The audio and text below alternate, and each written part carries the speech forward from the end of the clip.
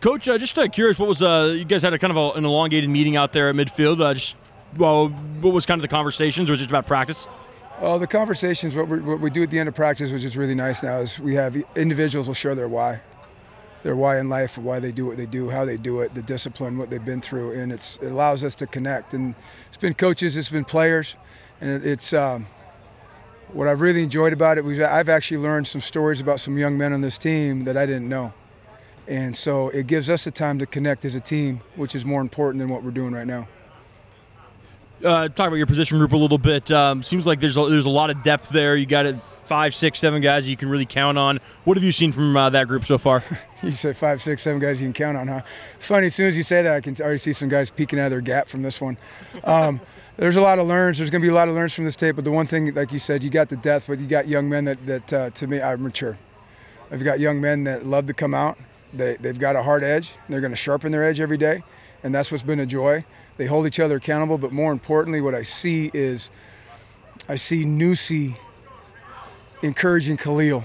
I see Jernias coaching Ansel, um, Naeem, and just how that room and Gusta, and just how they're so connected. But yet they're all competing for a spot, but yet they're all family and they love one another. And that's that's been the biggest thing for me because that room will go nowhere unless there's love built in there first, because now they're going to work for one another.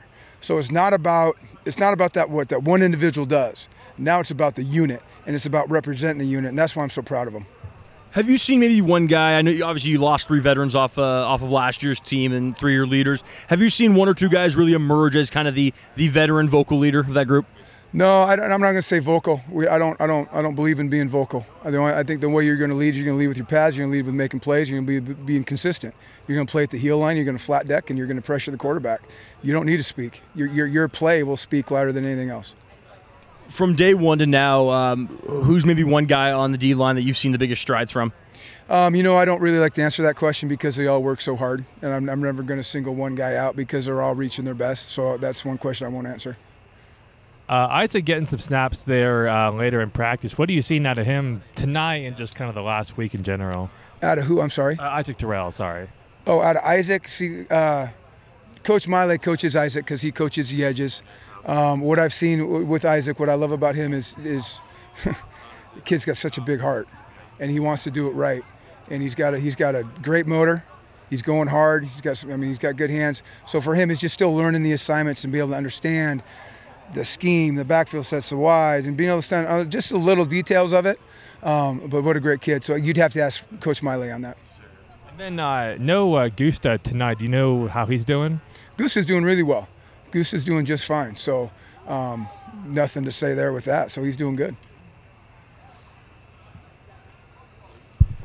Coach, uh, athletes are you know creatures of habit a lot of times, uh, and you know when you're in 8:30 practices, you know for a couple weeks on now, how important is it to sort of get them out here at a different time, you know, set their reset their clocks to, at, at a certain point? You know, I thought it was great. You know, that's one thing I always remember working with Coach Bull, and Coach Bull always said, "Don't lock your knees," right? And he always changed the schedule up on us. And tonight was to, to see the energy that we had tonight. It really felt like it felt like a game night, and to see the young men how they came out from you know, we did we did our walkthrough this morning from 11 to 12 and had our unit meetings at 10, and they lifted this morning too. And then to see the focus from the team meeting to the position meetings to the to the field was um, just the maturity of it. And so when you say breaking it up, I think it was really important because I don't want to say it's monotony, but as you know, I think you need that in a fall camp.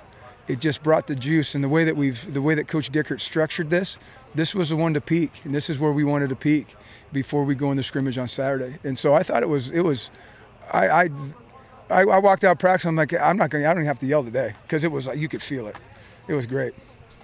Gusta uh, the other day described Ansel as being uh, 300 oh. pounds with a six pack. Um, that was his uh, his summary of him. What have you seen from him? It just it seems like he's even bigger, stronger, and more uh, more athletic than even what we saw in the spring. Yeah, you know Ansel. You remember Ansel put on 35 pounds since he's been here in January.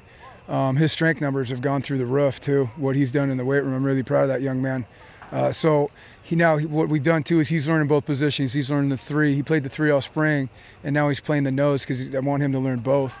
And so in that he's getting he's getting comfortable with it now, in the in the nose guard spot. It's just, it's, I always say it's just reverse three in some aspect, um, but he's doing a good job. He's come along, and a lot of it too is at first he was it's just he's trusting he's trusting himself again and what he's got in him.